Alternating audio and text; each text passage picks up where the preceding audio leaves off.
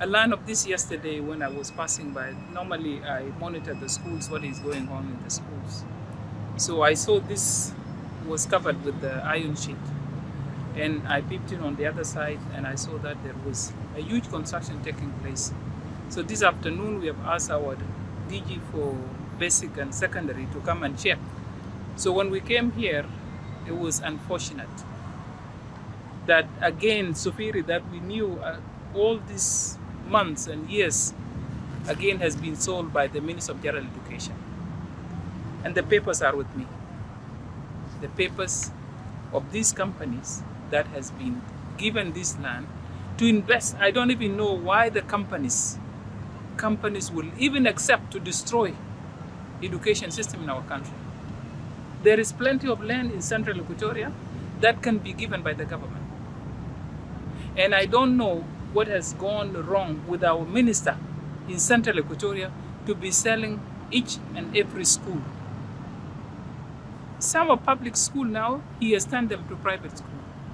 They dismiss our children after four hours and then he takes over from there and charge people to pay. And without the knowledge of the governor. This has been going on. There is a resolution, and I think we are taking legal action against the minister of general education because this has become too much. Here are the documents he has been issuing out, selling school from one school to another school.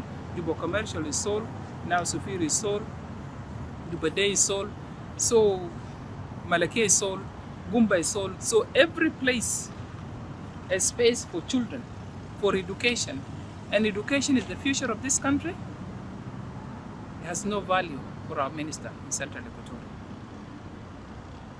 And this is a decision that the government have taken. So uh, this legal process will be taken against him because this is becoming too much. And I don't know why he was given this responsibility as a Minister of Education in this state. We need to protect, it is the Minister of Education that protect public institutions, particularly schools and institutes, but not the Minister exercises his power to, to sell the schools. So it is unfortunate and we will implement the resolution of the government of South Sudan as it is. Anybody that has sold school will take legal action and we will demolish whatever infrastructure that has been done on the site. Thank you.